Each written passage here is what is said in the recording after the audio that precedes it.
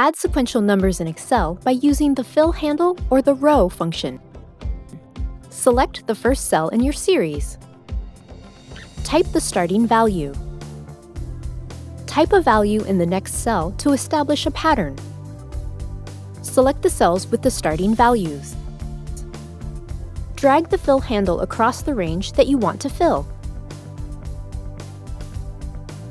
Or you can use the row function, which doesn't require a pattern. Select the first cell in your series, type equal sign, row, parentheses A1,